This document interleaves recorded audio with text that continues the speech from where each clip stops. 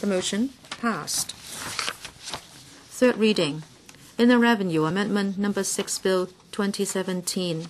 Secretary for Financial Services and the Treasury.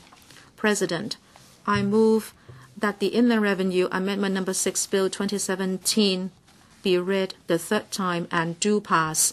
I now propose the question to you that the Inland Revenue Amendment Number 6 Bill 2017 be read the third time and do pass. Does any member wish to speak? I now put the question to you as stated. Will those in favor please raise their hands? Those against, please raise their hands. I think the question is agreed by majority of the members present.